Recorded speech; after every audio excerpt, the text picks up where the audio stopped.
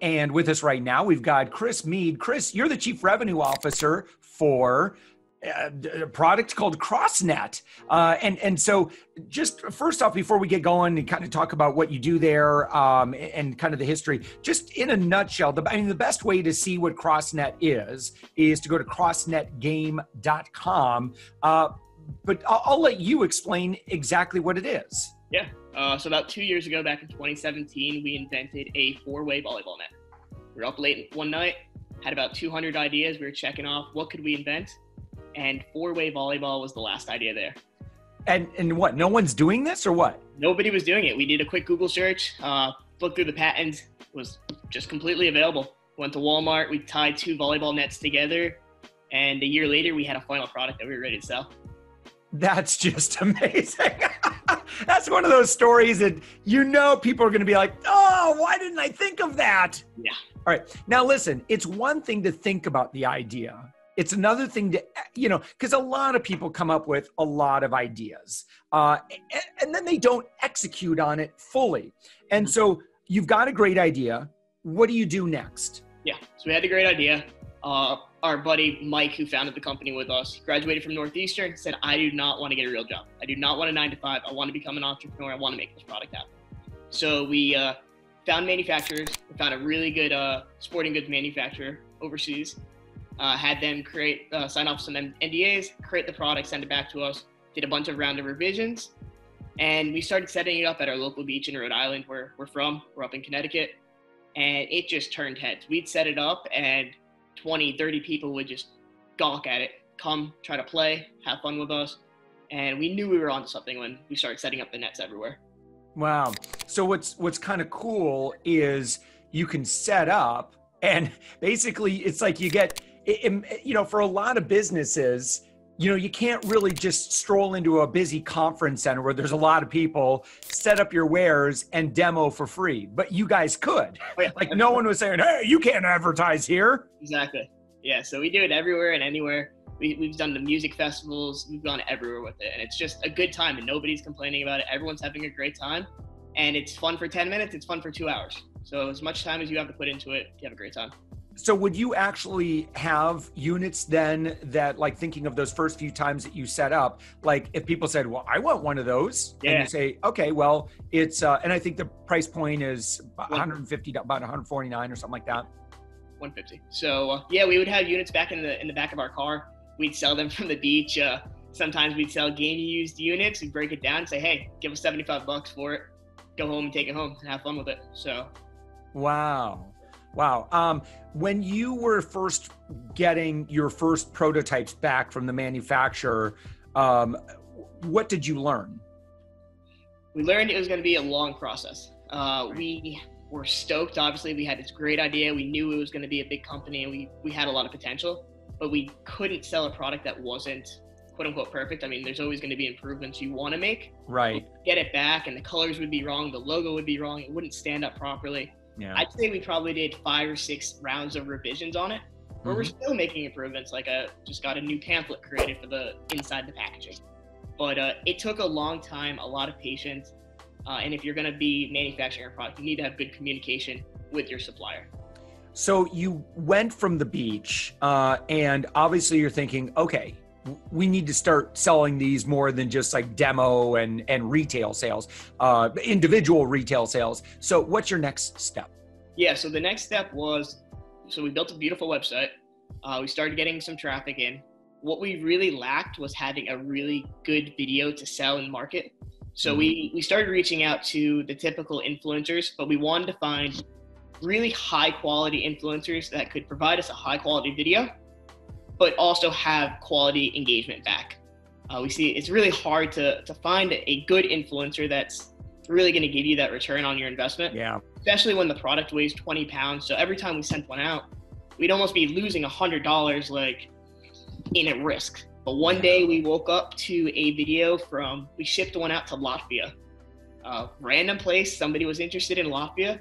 We woke up and they put up a video. There's a Latvia Olympic team and we woke up to millions of views, thousands of shares, and that was our first like viral video. Wow. Wow. Uh, so, what do you do with influencer marketing right now? Like, what what is your process for identifying influencers, knowing who's going to be a good use of your time? Obviously, you know, you've got.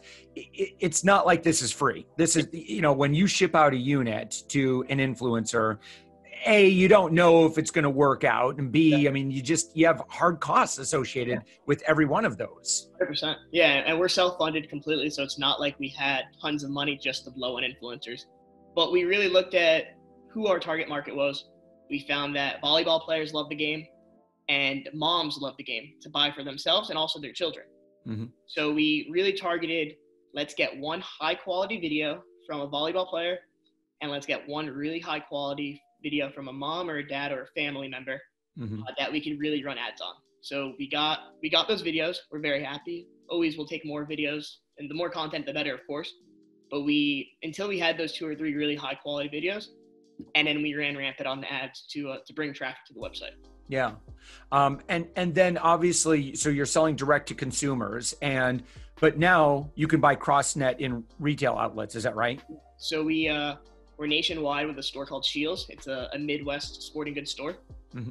and uh, now we're available online at Target and Walmart and Wish.com, uh, Jet, and tons of other big retailers. So uh, yeah, it's it's growing really big.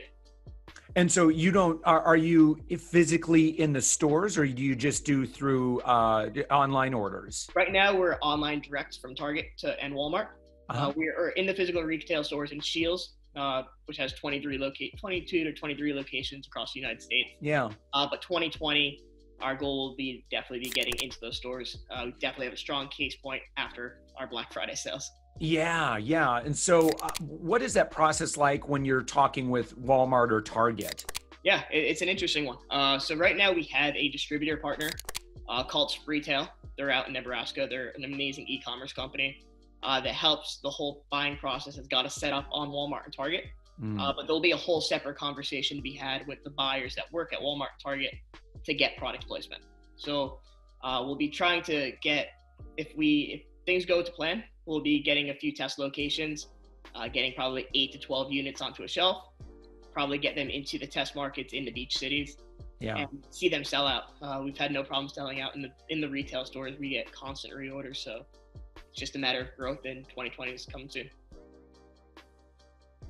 That's awesome. And so, um, what are now? Obviously, is when we're recording this, um, you know, we're kind of in the midst of the holiday season. Um, so, what have been some of your bigger challenges um, this you know kind of ramping up to you know, black friday cyber monday all that sort of thing um, and then now that we're in the midst of it what what are you experiencing yeah uh, so right now so we brought in a lot of inventory uh, for yeah. the holiday of course uh, we actually purchased 7500 units so we wow. started just two years ago purchasing 50 units and that was all cash from our bank account yeah. We've ramped it up. We've doubled it, doubled it, doubled it. Now we're up to 7,500 units and we're selling over like almost 200 units a day just on our dot .com and then a 2x to 3x that on our other online retailers. We woke up yesterday across all channels.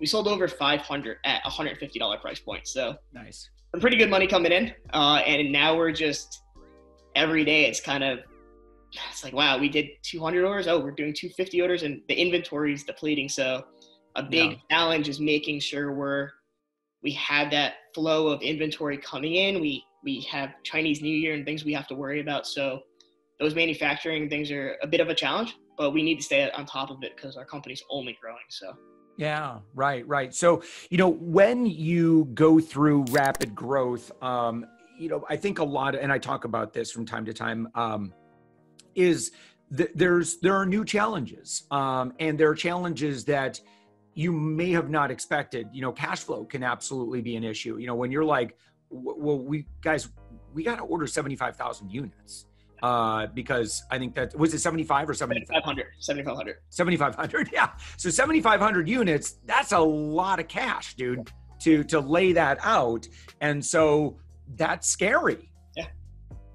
Yeah it is. So we've uh, we've negotiated really good terms with our manufacturer where we only have to pay a small percentage upfront for them to begin making that manufacturing process. Wow. So they get everything up in up in order. They have their 25 30 day turnaround time, and then from there, uh, we pay the rest later on when they ship the goods. So we have money coming in on a daily basis from our .com, and then on the retail side, we have checks coming in every 60 days, 90 days. Mhm. So there's a surplus of cash is coming in, coming out for, but we're 100% self-funded, 100% profitable. It's a, it's a good feeling. So I, I ask you these questions just simply because you're the chief revenue officer. What does a chief revenue officer do as opposed to like a CFO? Yeah. Uh, so right now in my world for a chief revenue officer, I handle all things sales and pretty much almost everything besides social media on the marketing front. Uh, so I'm responsible for helping lead the creation of email content. We have a, a steady stream of over 70,000 emails right now that we're blasting out Black Friday deals, Cyber Monday sales. I handle all of the wholesale communication, getting us into the big box stores, talking to the distributors, working with international distributors, yeah, so there's there's a lot on the plate. So anything that could lead to potential money for CrossNet, I'm uh, I'm working on it. And um, in terms of getting buzz for your brand, uh, you know, are you still actively reaching out to influencers? you reaching out to media? What What are you doing aside from just paid advertising? Uh, so my brother Greg, he run he's the CEO of the company. He runs all of our our social media. He works with our agency to work on Facebook advertisements. Uh, he's incredible on Twitter. So every morning, uh, he's working on Twitter ads to make our company go viral on Twitter. We Mhm. wake up to hundreds of thousands of impressions at a very nice price point. Yeah, people seeing a four-way volleyball net in their timeline. yeah, Rolling, they see this four-way net, and normally they have the same reaction that somebody at the beach does. What is this game? They'll give five seconds of their time. They'll click their link. We get their email, and we start selling. yeah. Now, um, so Instagram in particular, you guys have a really good following on Instagram with sixty-eight thousand followers. Um, what have been some of the things that you've learned about? And maybe this is more of a, a Greg question or your, your CEO question, but like, um, you know, obviously you've you know a lot of great um, action pictures. Uh, uh, you know, but uh, aside from that, like, how have you grown your Instagram following? Yeah, uh, there's been a few ways. Uh, recently, to date, uh, we've been doing like weekly or bi-weekly giveaways. So tag your friend, tag three friends, like and comment on this picture and share it. And we've seen if you go through the comments, you'll see tons of uh, tons of comments on that.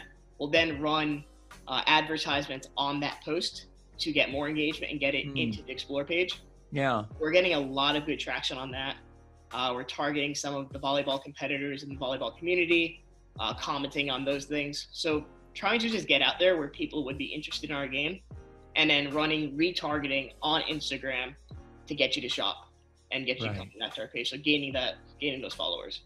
And then so I suspect now that uh, I've I've had all your Instagram up and your web page up, um, I'm going to be seeing some. oh yeah, I'm going to oh, be yeah. seeing some CrossNet around the internet now. Yeah, my, my friends can't stop seeing it. Little like Chris. That's awesome.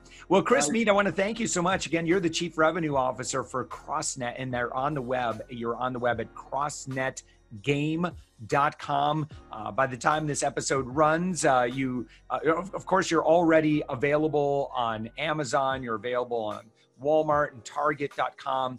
Uh, and then uh, by the time this publishes, uh, you may be on store shelves. yeah, let's hope. Awesome. Chris, thanks so much. Thank you so much.